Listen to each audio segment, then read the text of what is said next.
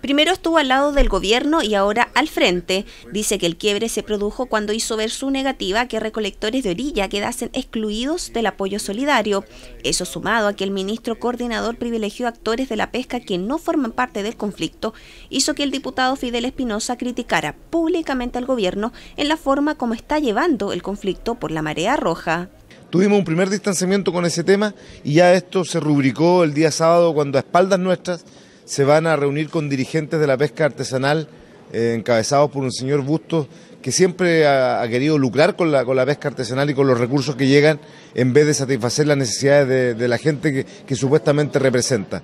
Y por ello nosotros le hemos pedido al ministro que sean más cautelosos con quienes están firmando los acuerdos.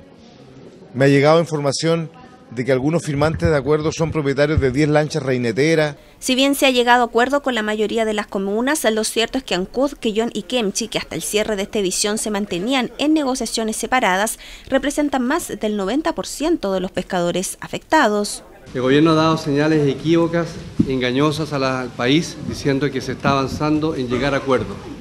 Yo les quiero decir que el 91% de los pescadores artesanales bentónicos afectados por la marea roja están lejos de llegar a un acuerdo con el gobierno. Y aquí hay un problema inminente, que si en las próximas 24 horas no se resuelve este conflicto, el gobierno no solamente se tendrá que hacer parte de estos pescadores artesanales, sino que también de miles de trabajadores de la industria del salmón, como también de la mitilicultura.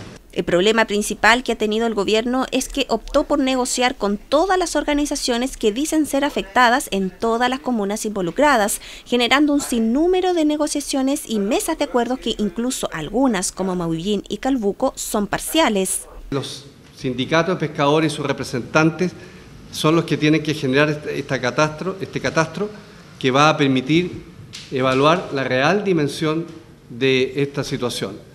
Nosotros propusimos con mucha fuerza que se traspase recursos de la ley reservada del cobre para hacer frente a esta crisis. Los parlamentarios llamaron al ministro Céspedes a ser más riguroso y responsable para que se trabaje con los verdaderos afectados por la marea roja. Apoyados aquellos hijos de pescadores